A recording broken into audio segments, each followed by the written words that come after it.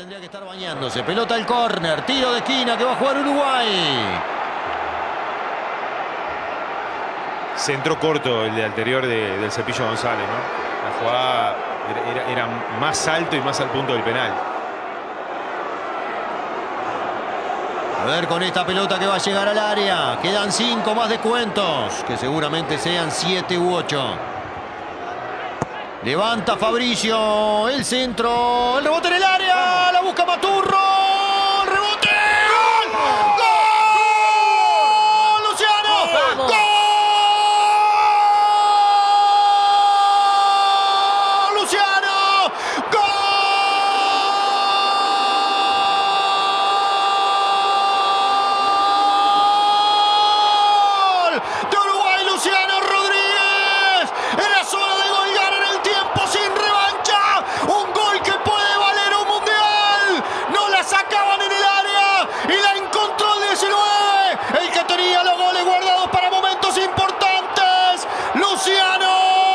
Luciano.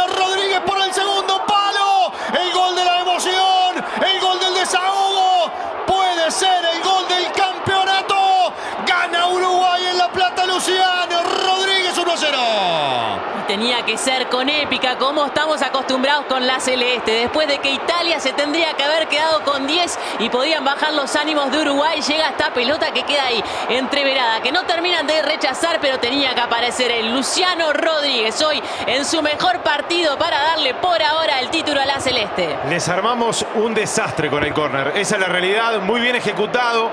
Maturro va a buscar la segunda pelota que estaba más viva que nunca. El timing de Luciano lo es todo. El cabezazo justo abajo, le da el pique anterior a la línea. Uruguay golpea en un momento fantástico a cinco minutos del final. Por el árbitro, tiro libre para Italia.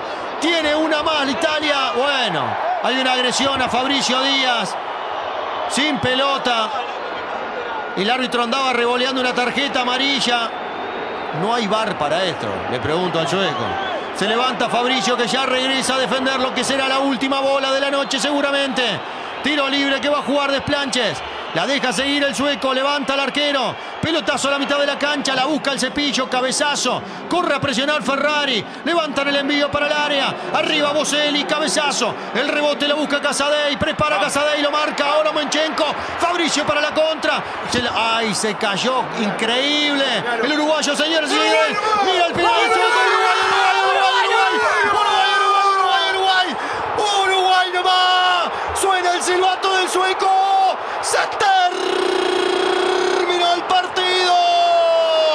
Final del fútbol. El estadio Ciudad de la Plata. Escuchen qué hermoso suena. Disfrútenlo escucharlo.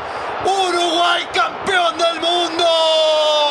Uruguay se queda con el Mundial Sub-20. Uruguay campeón en la Argentina, como la historia nos manda. Es una emoción inexplicable la que genera este grupo de chiquilines que se ha quedado con el título en lo, lo más alto del mundo, en lo más alto del campeonato y en la emoción máxima de este domingo hermoso. Uruguay, Uruguay se queda con la copa. Uruguay campeón del mundo. Celebren todos en el lugar que estén, de la esperen para mañana en Montevideo recibir a estos gurises campeones. Uruguay nomás, el título es celeste. Uruguay campeón del mundo.